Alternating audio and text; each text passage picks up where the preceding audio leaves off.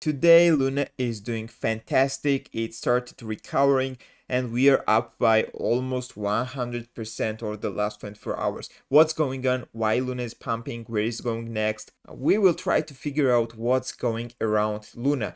So watch this video until the end. Don't forget to click the like button. Likes are very important for YouTube algorithm. And don't forget subscribe. Let's reach 4,000 subscribers as soon as possible. We are very near to this number. And remember that I'm not financial advisor. This is not financial advice. Always do your own research when things goes to crypto. So let's get back into it.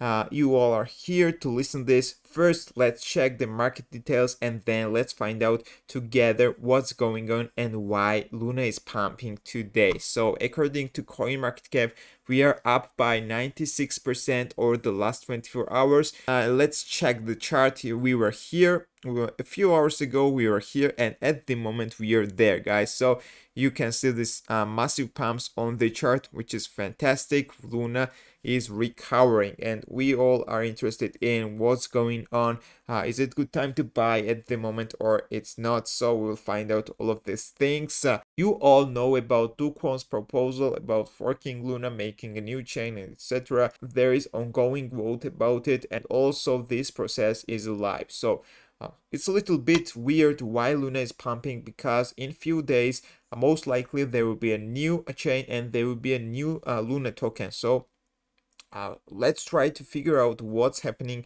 on the market. One of the main reasons of these pumps are the burns which are taking place uh, in these days and also in this hour. So let's uh, let's look at the PooCoins uh, rack check and check Luna's contract address. Uh, there is a fact that millions and billions uh, Luna tokens are sent to burning address. You can see, for example, uh, this huge amount of tokens are sending to uh, this burning address. And you can see the timeline here. For example this was about a few minutes ago. Uh, so there's ongoing huge burns and all of this has an impact on the price of luna.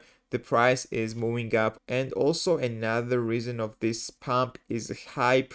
Uh, when people saw that luna started pumping when they saw these pumps here they decided to get into it. They decided to invest into luna. So we have got these whales of buyers uh, when they saw the Luna's price was pumping, they decided to get into it and they started uh, buying Terra Luna and thinking that if Terra's price would reach $1, they would be millionaires but this most likely won't happen because there are trillions of tokens in the circulation and one dollar at the moment is almost impossible. So another reason of this pump is uh, whales of uh, buyers and you can check these buyers here from the last few minutes and last few hours. There are a lot of buyers buying terra luna. You can see 90 90 percent of people are buyers and about 10% of people are sellers. There are massive buys on the market, and this is another reason why Terra Luna's price is uh, pumping and it went up by 100% in the last 24 hours. And also another important question about Terra Luna, uh, should we buy this token at the moment? Of course, I can give you financial advice, uh, it's up to you guys uh, and it's highly risky to invest. And i want to uh, tell you my opinion. It's highly risky to invest money into terra luna especially after the crash. And while we have got this peak on the market it's highly risky. Usually when crypto has massive pumps then we should expect uh, drops.